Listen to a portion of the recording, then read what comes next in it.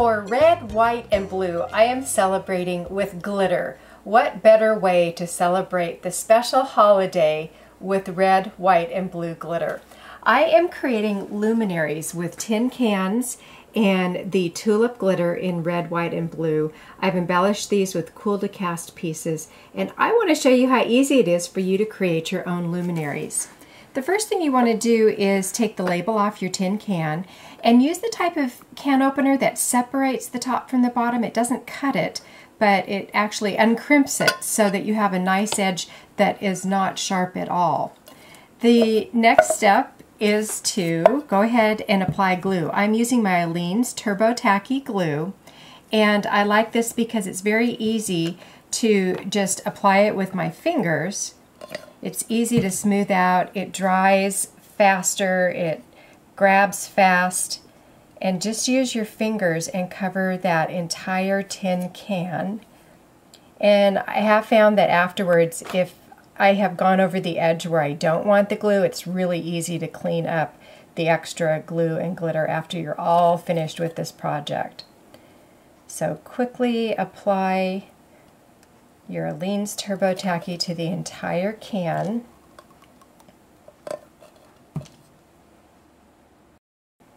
The next step is to be sure you put a piece of paper or wax paper down on your work surface so you can collect the glitter as it shakes off your can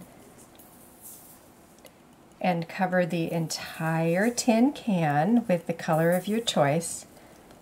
I love the blue. So cover that entire tin can with your glitter and then shake off the excess. Once your glue and glitter has dried completely on your can, then you can punch out the holes, which gives it the effect of the luminary. I just line this up. Now you can use a tape measure to actually get in there and space these. On my can, I did them about an inch apart and it's very easy to go in there and just punch those holes. I did the second row by just coming all the way in and punch. So do that all the way around your can.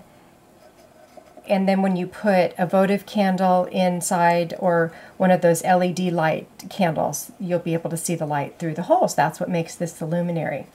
The Step to create the stars, as I mentioned earlier, is to pour them with Cool2Cast and then apply your glitter.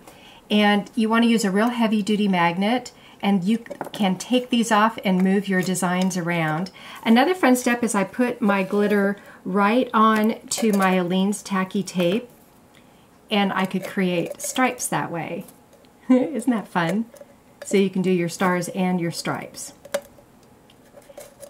What I love about this is because you can move everything around, they are completely interchangeable. So when our red, white, and blue holiday is over, I can actually change my luminaries out for the season.